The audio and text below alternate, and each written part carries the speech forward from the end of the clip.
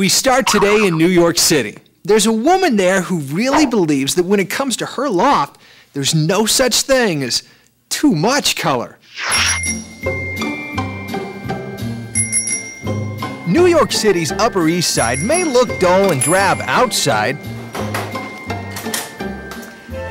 Hi. but inside Apryl Miller's Manhattan penthouse, This is amazing.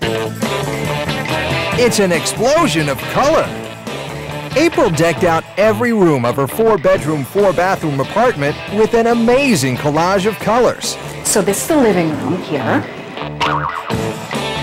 In the living room, there's a carpet mosaic floor, candy colored walls, and some of the most eye popping furniture ever made.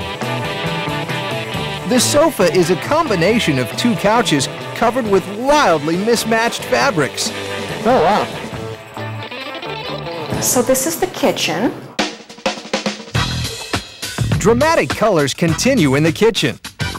Painted parquet floors pop out like giant puzzle pieces.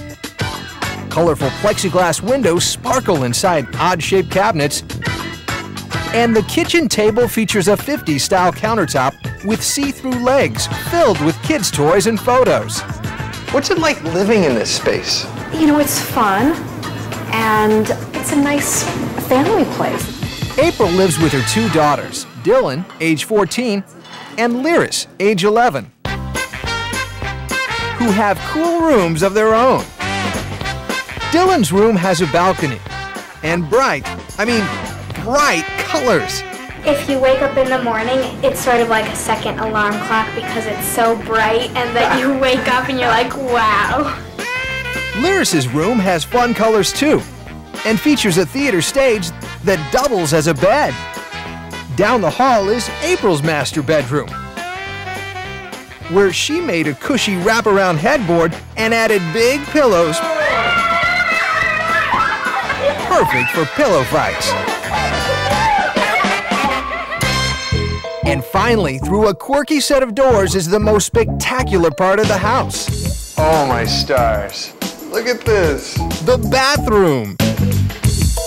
Textured concrete walls scream with gold powdered paints. The sink and countertops shine in the stained glass.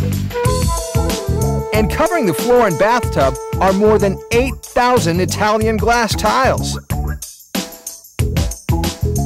So I've got little notes in here, like here's one to my children. To Dylan and Lyris, love mommy.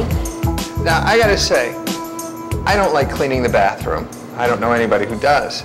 But I would enjoy cleaning this bathroom because the tiles are so beautiful and colorful. Well, and it's also the further that you walk into the bathroom, the more things you find.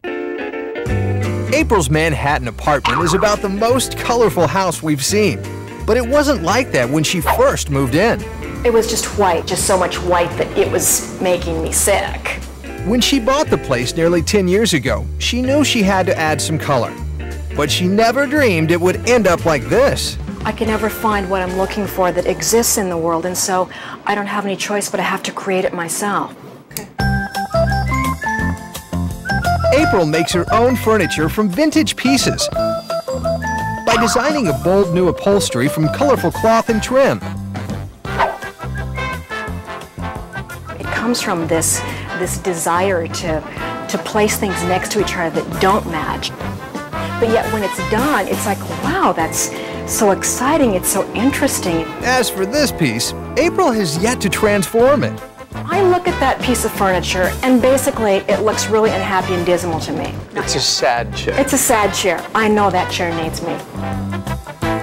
For Apryl, color is the driving creative force behind her Manhattan masterpiece.